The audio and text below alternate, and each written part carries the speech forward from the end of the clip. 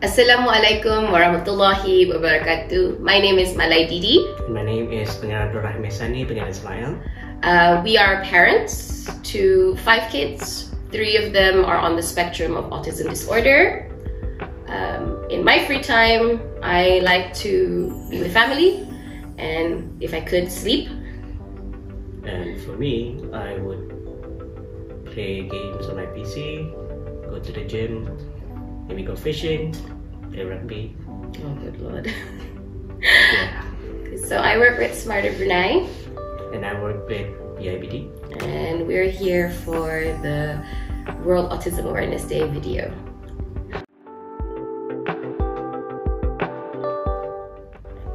So we're here today to do a little bit of a question and answer. Um, they have prepared some questions in this bowl in front of us. I have no idea what's inside it. So we're gonna answer whatever's in the bowl. Can you go get one question?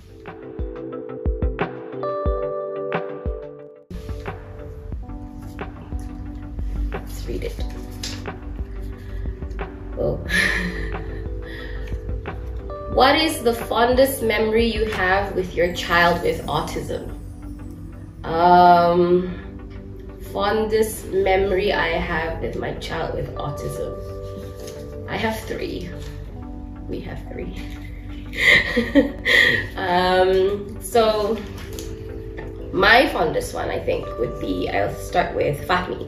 He's my eldest, um, and he started off non-verbal. So my fondest memory of him would be when he finally was able to speak and have meaningful conversation with me. It was when he came back from the UK, remember? And before he went to the UK, he was only saying very simple one word, one word sentences. And then when he came back to the UK, from the UK, he said things like, Oh, Babu, I had a great time. It was really fun. And I started asking him questions. And it was the first meaningful conversation we've had ever since he was diagnosed. So, yeah, that's my fondest memory. About yours, which one? Mm, I would say all the time I spend with them. That's your fondest memory. Yeah, I mean, thing is, I don't see no difference. For me, for me, I would say I would I would say that I see them in a different light because all the time that I spend with them would be, you know, out of my memories, and it's all good. All three of them, all five of them. All five. Alright, that's it. Alright, let's get another question up.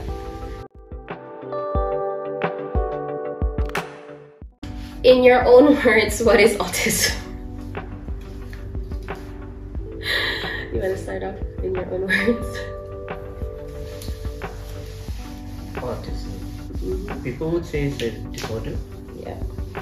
but like I said, for me, I don't see them in any different way.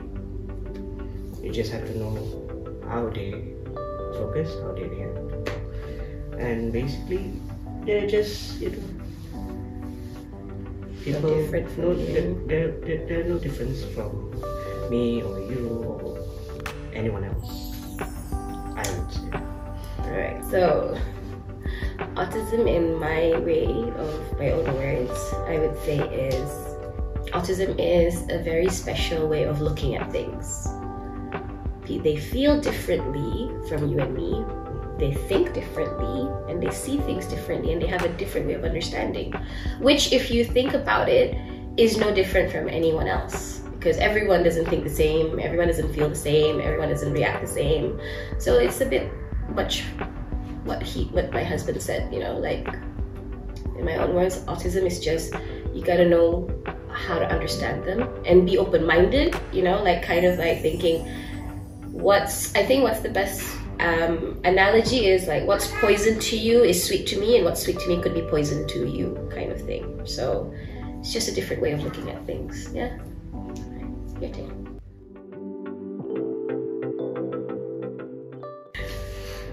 What is your advice for other parents out there? Okay, I, I'm a veteran parent. so, what would your advice be for new parents? New parents. Well, you oh. know, parents like who don't have what we had guidance in the sense, kind of lost. I always helped with the what to do. Well,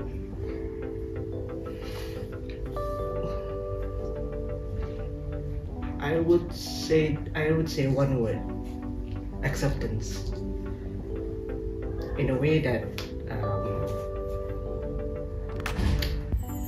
you cannot say that your kids or anyone else with this disorder any different than anyone else.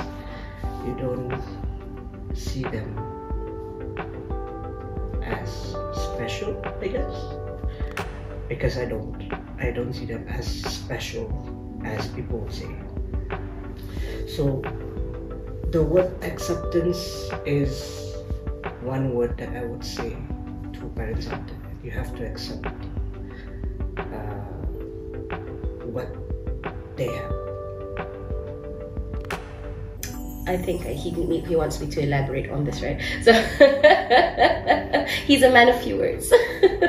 so um, I would say that what he's trying to say is I agree with him. Is more of like yes, they are special in their ways, in their own ways. They, you have to accommodate them, but you can't be in denial because if you're in denial, you're not going to help your child's progress. If you know something's wrong, well, not wrong per se, but something's not adding up. Like there's a progress that's being a bit stuck. So like for us, it was with our number four, Imanina, when she was about a year plus, we noticed something was off, and I kind of went.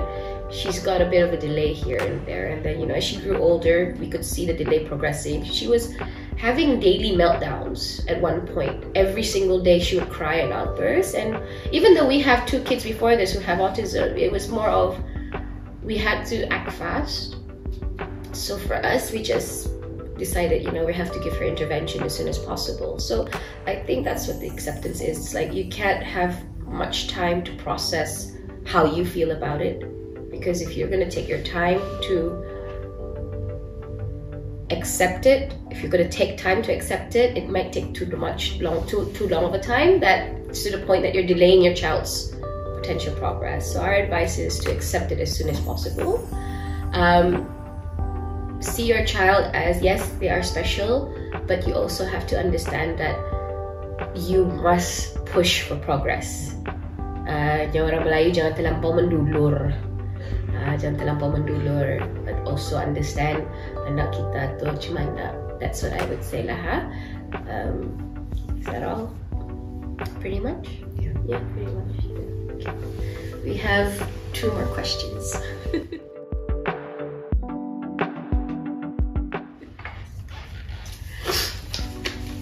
Oh, big question. What would you say are the biggest misconceptions and misunderstandings of autism?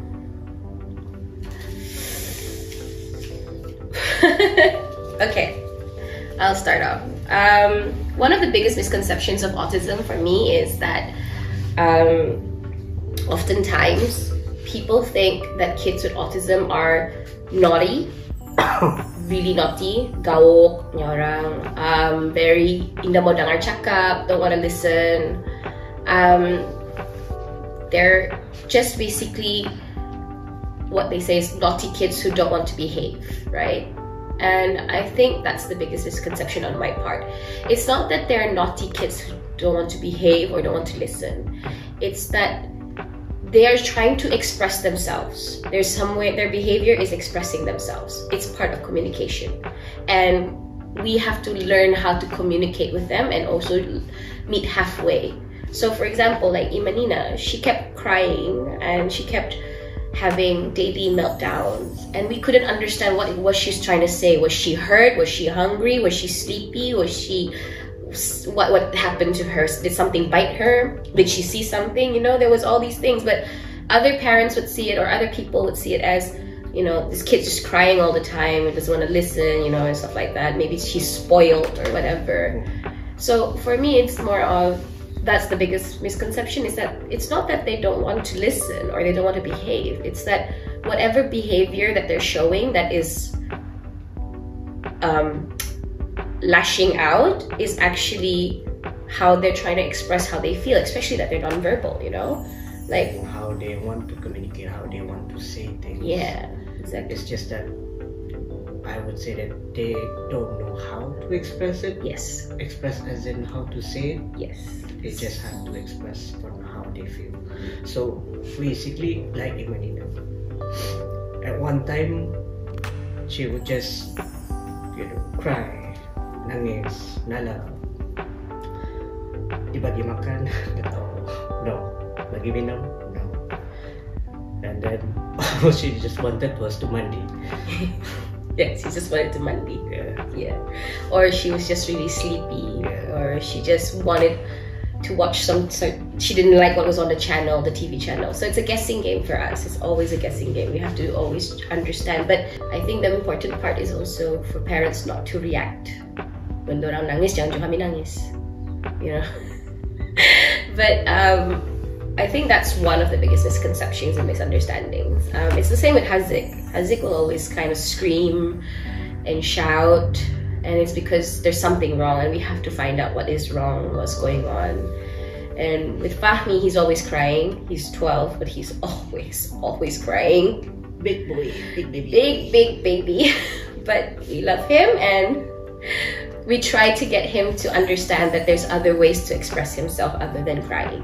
Yeah, so he can just say what is making him upset, or he can um, express himself in healthier ways um, that is, you know, that he can use his words, or even through expression of drawing or whatever it is he likes. So, our kids' misconception is that a lot of people think, you know, they're different from other kids, but they're not so much different. For us, they're just like any other kid. It's just that you need to understand the different maze of kids' emotions and behaviors. Right, final question. Oh, that's a nice one to end with. What are your hopes for your kids in the future? Ah, Uh, ah, we have five. well, being a parent, of course, you want the best for your kids. You want a good future, the best future for our kids. And I hope for my kids they can grow up well, healthy, and basically they can, uh, what do you say, Contribute. dapat berdikari, Be independent. be independent. Um, So basically, in a way, like we are getting old. We are getting old. Okay, we are getting old, are we? and there would be a time that when we are not here anymore, we would want best for our kids. So I hope uh, with our kids, they can be independent. I think that's the most important thing. Independent and happy. Um, I, I thought I said I didn't want to cry in this video. um, I want my kids to be independent, yes, for sure. Happy, for sure. I mean, I don't really have like they must be something in the future. I just want them to be the best versions of themselves, you know. Um, especially worrying about who's gonna take care of them. we weren't supposed to cry. You know, I was crying i wasn't supposed to cry. Okay, um I hope for sure that because they're siblings that they have a really strong bond with each other and they look after each other. That's that's something I really want. Like as they grow older, they don't go further apart, but they actually are really close to each other and they take care of each other no matter how old they get. So that's I think my hope for my kids, our kids, the future, and uh, yeah.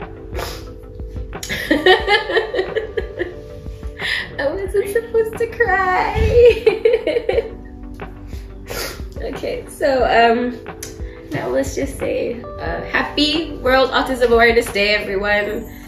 Keep doing what you're doing, and I hope that this brings you a little bit of an eye opener to what it looks like to have autism in a family. Yeah.